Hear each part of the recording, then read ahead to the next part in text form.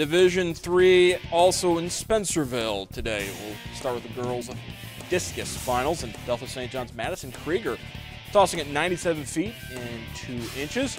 Crestview's Becca Tracy going 100 feet and 2 inches on that toss. Marion Local's Madison Chrisman 102 feet and 3 inches.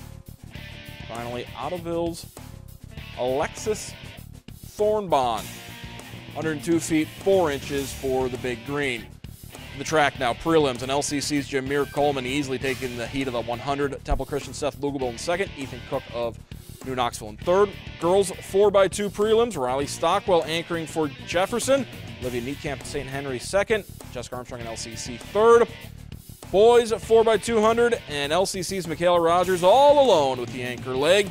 Zach Jelson Crestview in second, followed by Ottoville with Colin Bendley in the anchor position. So have the team results through one day of action at Spencerville and Marion Local with a four and a half point lead over Minster, Ottoville, Bearcats, and St. Henry rounding out your top five. Meanwhile, for the boys, Minster with a large lead at this point over LCC and St. Henry.